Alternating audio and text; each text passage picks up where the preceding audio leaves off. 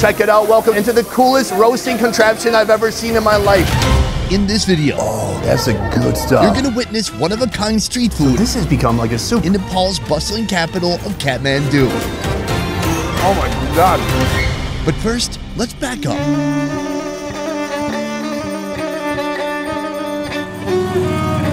Kathmandu has a population of nearly 1.5 million, far greater than the next biggest city. Nepal, this very small country, is squeezed between these two huge superpowers, India and China. Nepali people, mm, who do they like more? It's like asking if you like your mommy or your daddy. This bustling cityscape has become a melting pot for cultures and foods around the country. Are there a lot of Tibetan restaurants in yeah. Kathmandu? You. Sorry. You can chew if you want. Okay. Here, you can get a taste of everything Nepal, from the country's national dish You can add more if you like. When you get more, that's free, Yeah. but not the meat. to the most extreme meat roasting operation I've ever seen. The guys working here are sweating their balls off. You can only stand to be in this area for about a minute before your legs start to literally melt off. Well, I gotta get out of here. And it all starts here. Welcome to Kathmandu. Today we are in Nepal and this is Sorita. Sor- Sarita. Sor- Sarita. Sorita. Yeah. All right. I'm so sorry. Did I say it wrong? I thought I said Sorita. This is the tiniest commercial kitchen I've ever seen for a restaurant. It's hurt with a handful of burners and then piles of delicious food inside. The seasonings, the smells in here are insane. Right now she's preparing something called dal bhat. More than just a national dish, dal bhat is a perfect way to fuel up for a cold Nepali day. In its most simple form, you'll find rice and lentil curry, but the sides can be nearly endless. Here, Sarita is cooking up stir-fried veggies. Add fenugreek seeds, onion, and green chilies in a hot oily pan. Then potato, turmeric powder, squash, beans, salt, and a list of flavorsome Nepali spices. For a bit of protein, we've got chicken curry. It starts with onion, green chilies, turmeric powder, and bay leaves in hot oil. Then the chicken, cooked lightly before flavoring it with ginger garlic paste, cumin powder, coriander powder, salt, garam masala, tomato paste, coriander, and finally spring onion. she whips up her mutton curry the same way. Pick your protein, plate, serve, and eat. You have to use a hand to get the real taste. I haven't washed my hand for three days. Is that okay? No, that's not okay. Okay, well, let's see what happens. I notice there's an emphasis on rice. it's all about the rice. To make it easier for you to eat more rice, you pair it with different kind of vegetables and then the meat. Oh. Oh my god. That is the biggest bite I've ever seen in my life. Yeah, I ate it. Okay, here we go. Take some chutney. With my fingers, it's a liquid.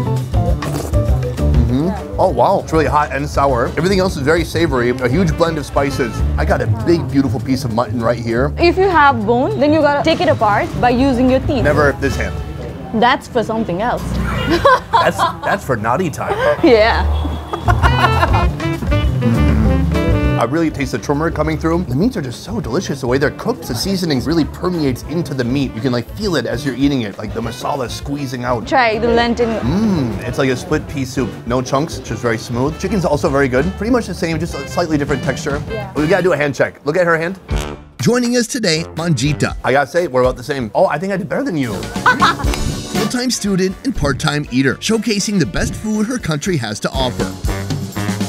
The first time I ever tried Nepali food was actually in Texas, Oh. in the USA. And it was delicious. But the thing is, the restaurant could not advertise that they had Nepali food. They had to advertise that they had, can you guess?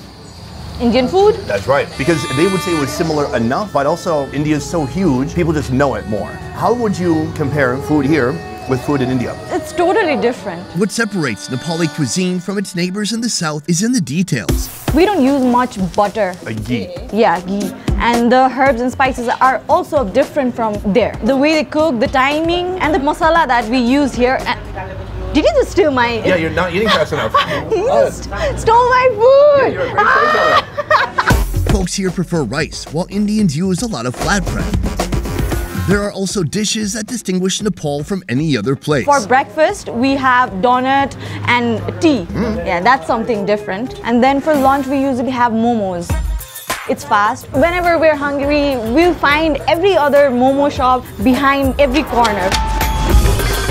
Mo means steam, and momo is what you call the steamed Nepali dumpling, an iconic dish enjoyed by every stratum of the population. Uh, namaste. Namaste. We've come to the very chill Momo's making room. Did we overload the generator? No. Oh, the electricity cut. Yeah. How often does that happen? Unexpected daily powder outages are not uncommon here in the capital, due to decades-old infrastructure that's continuously trying to catch up to demand. At times, power cuts might last half a day, but still, you'll hardly see people flinch. Whether it's bright or not, there's work to be done. We have someone right here rolling out the wrapper. The wrapper is just made of flour and water. This is a fascinating rolling pin. Can I see this real quick? Can I take a look at this? I'm not sure if this is from the rolling pin store or if it's just been kind of reused. Very heavy. It just takes her one roll and then she's got it flat and ready to go. Is it perfect? No. All right. The filling is made from a mixture of blended onions, ginger paste, masala, turmeric powder, Nepali hog plum, sesame seeds, and protein, either ground chicken or ground buffalo. Each dumpling they have here has a little bit different shape. These with the buffalo are a bit more circular and then kind of twisted at the top, but the ones that are filled with chicken have a more of a crescent shape.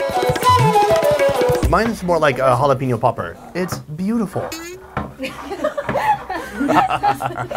They're literally making hundreds, I would guess thousands, because they sit at this table for hours making these. Put them on the trays, and the trays go into a waiting area until they're ready to go onto the steamer. Hi. Hi. When I think this type of dumpling, it reminds me of East Asia. Like we have something here where it feels like the structure of a East Asian food mixed with the spices of South Asia. Yes. Do we just eat it like this? No, you gotta take the soup. Oh my god, you smother it. This is made from sesame seed, peanuts, and then hog plum. So it's sour, it's salty. Now you take the hot sauce. Sorry, it's just like immediately salivating. My mouth is watering. There's so much sauce on it. Let's go for it. Mm-hmm. Take more soup. Oh yeah, the soup is so awesome. It's so peanutty. You can taste the sesame seeds in there too. You'll see a lot of people coming here and just ordering a plate of momo and drinking this. Right. A lot of it. Rich, delicious, and full of spices. It's a great combination. The wrapper of this dumpling is so chewy, but then there's like a big greasy piece of meat inside, like a little meatball. Is buffalo a pretty common protein? yes. In this Hindu majority country, you're not going to find many beef options. According to the Hindu faith, cows are to be revered, but buffalo, well, they're fair game, and their meat is nearly indistinguishable from the usual ox beef. We've got like anything you name it, and then they have a buff meat addition to those dishes. The people here also love the buff momos a lot more than any other momo here. So who's the chicken for? There are a part of the population they do not eat buff mm-hmm. because buffalo is the god. Wait, Hindu folks believe buffalo is also God. Yes. I've never heard that before. Chicken's good too, but I gotta say, if I had to choose one, buffalo all day.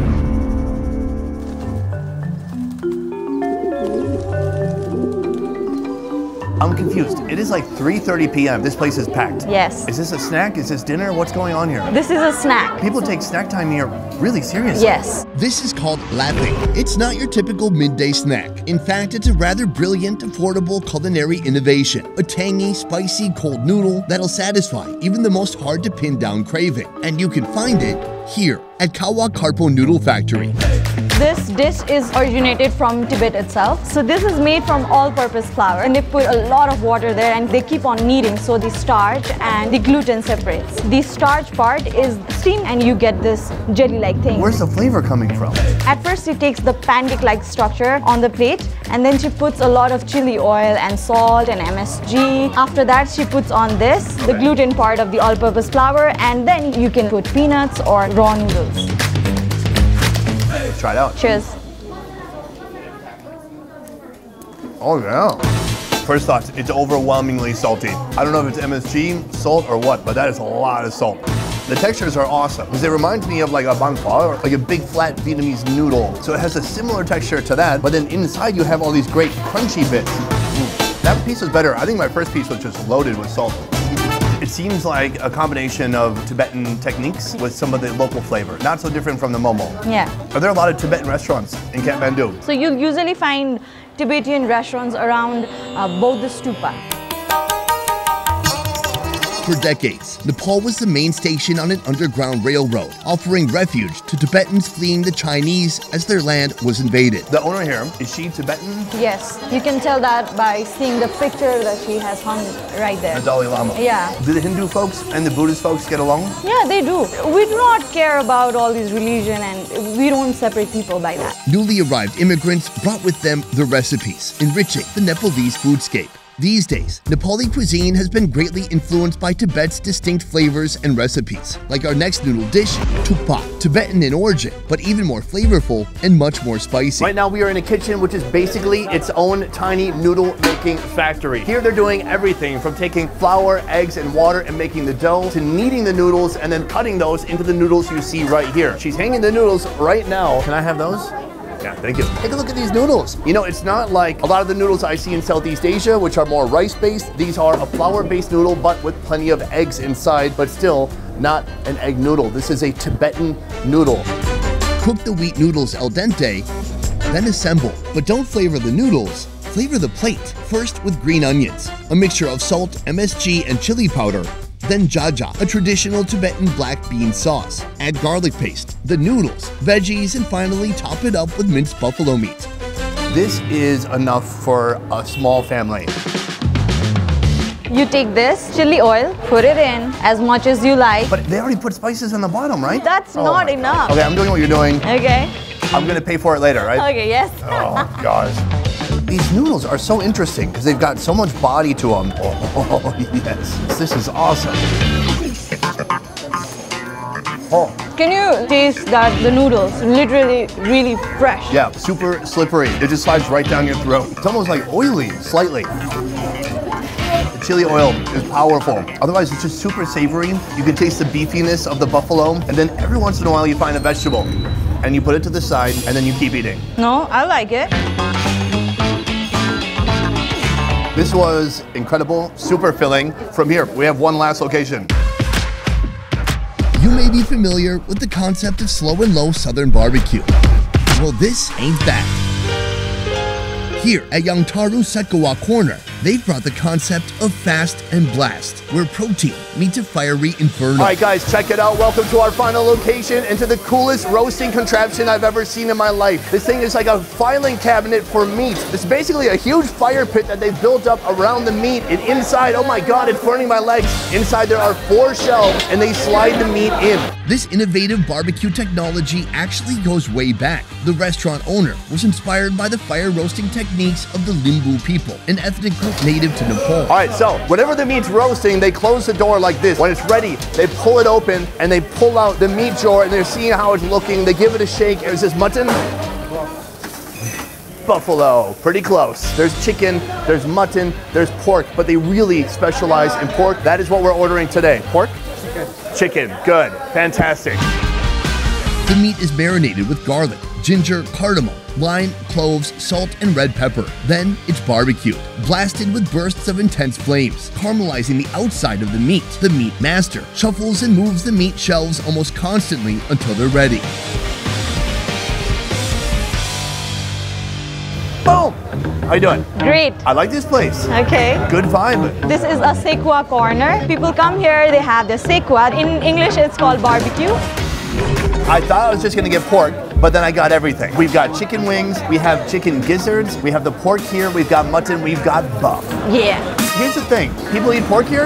Yes. This is a surprise to me. I know India is it's a Hindu country, but they largely don't eat pork there. Do you have any idea why? No clue about Me it. either, but you guys do here, and so I Yeah. appreciate that. Hey, let me give a quick toast to pork. Here's to pork. I think we should try some chicken gizzard first. You gotta take this and dip it in as well. Oh, well. dip it in the chutney. Yeah. Mmm. You can like taste the kiss of the flame. It is like perfectly fire roasted. What kind of chutney is this? This is a tomato chutney. That pairs very well with barbecued meats. Over here, Yeah. that is pork belly. You can see the pork skin, the fat, the protein all together. Oh no. I've had pork belly in so many different countries, but never quite like this. The spices, the seasonings they're putting on there with that fire roasting technique, it's a completely different flavor experience. It's juicy, it's got a nice bite to it. It's not crunchy, it's more like dense, like chewy in a good way. Yeah. Oh my god. and the fatty section really explodes with flavor. It's interesting because it's so rich, like our last noodle meal, but I don't need anything to balance it out. Well, maybe this. Meanwhile, we have this right here. What am I looking at? This is chatpate. Mm. You use puffed rice and then the onion, tomatoes, boiled potatoes, and you have chickpeas and then the peanut. That's a lot of veggies, and they squeeze lemon in it. Oh. So it's sour, it's spicy, it's salty. Are you hiding meat in your cheek right now? Yeah.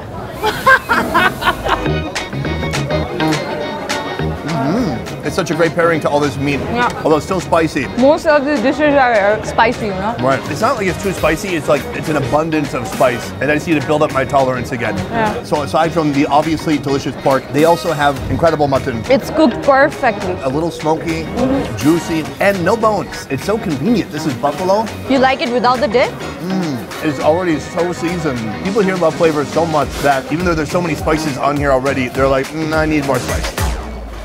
I want to ask you, do you wish more people knew about Nepal? Yes, obviously. Because uh, I don't think Nepal has got as much exposure as the other countries have, while Nepal has a lot, a lot of food and cultures to offer. They gotta come here to know what I'm talking about. Nepal has been on my radar for a long time. A lot of people have commented on my videos saying that I have to come here, I have to see it for myself. I didn't know exactly what to expect of the food. I did try some Nepali food in Texas, but today has changed any preconceived notions I had. It's kind of just opened my mind to a whole new experience. There are similarities to other countries, but Nepali food definitely has an identity all its own. Yes. Here's to Nepal. Yeah. It's to the future. Okay. And thank you so much for, oh, you're trying not to cheers. Yeah. Is it? Clinking a glass is not a contracted drink. You can just do a, a clink and it's okay. Okay. Clink, now you have to drink. No. Best Ever Food Review Show is a small team of independent creators, and everything we do here works because of you guys. Click the link in our description to join our Patreon and receive exclusive benefits. A peace. There are so many different unique dishes that we're gonna try in just a moment, but first, we gotta cook these noodles. And that's, I'm not gonna be a part of that actually. I give her the noodles, and she cooks them. Are they adding turmeric to that to make it Yes, yellow? yes. Okay. And did you add turmeric to your fingernails to make them yellow on one That's hand? what happened when I had dal bhat. Is that for real? yes. Is it white on one on one side? Oh my god. So you gotta take uh, your dal. Uh -huh. You have to put this. oh, put the your yeah towards me. because this is the main one, right? Okay. Yes. I'm, I was disoriented. Yeah. This is usually what's hidden from view of the public, but this place is awesome. Let's show them how it's done. Can uh, can you make some, can we make some momos? How many do you make in a day? What happened? Did the light just turn on? Yes. Hallelujah. Yes? Oh, do you guys know Hallelujah? Are there a lot of Tibetan restaurants in Kathmandu? You, you, sorry. You usually find You can chew if you want. You take this chili oil, put it in as much as you like, according to the spiciness level you can handle. Okay, what if as much as I like is zero? Then don't put it. I do like chili oil. Hold on, maybe I should, but maybe I should test it to see if I like it first. Okay. No, I'm kidding. Boom, that is the end of our first video here in the country of Nepal. I want to say a huge thank you right here to Manjita. And Thank you so much for coming to Nepal, Sonny. My pleasure, and I'm, I'm glad I got to hang out with you on my first day and see all this amazing street food. I had a great time. If you guys want to follow her and her fun food adventures here in Nepal, in Kathmandu and beyond, please go to this channel right here. Follow her on Instagram. Gentlemen, uh, polite DMs only. That is it for this one, guys. Thank you so much for watching. I will see you next time. Peace. Oh, you've watched it before. Obviously. Oh, very cool. All right, can you do the other part at the end that the co-host usually does? No. What is it?